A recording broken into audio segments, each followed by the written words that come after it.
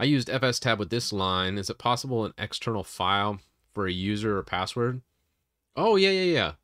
Yeah, for that, you just need to do, uh, instead of doing the username colon your user password equals pass, um, you need to do uh, a, just reference um, creds file, I think it is, credential file.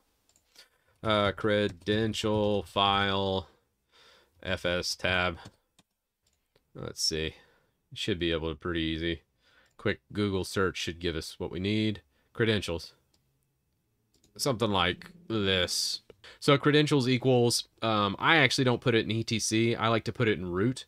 And obviously chmod 600 uh, SMB credentials.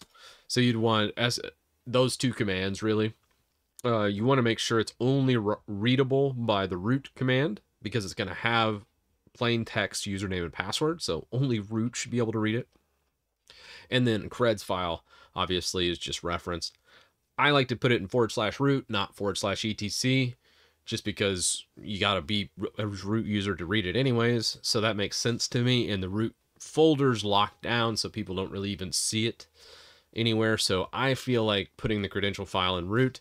Uh, but for, for the most part, this is a good answer right here.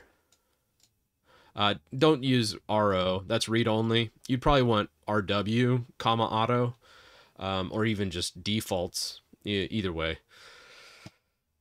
And if you want to mount it as a user instead of the root user, you could put like a UID and specify that during the mounting process as well. I don't really like to mess around with much of that. I just use NFS because SMB sucks. NFS is faster. NFS better uh, for small environments. Obviously, if you're in a business environment and you need the permissions and need to lock out, like you have an accounting and you have like regular line level, and yeah, you're gonna need like an SMB with those privilege privileges. But if you're just, hey, do you need access or not?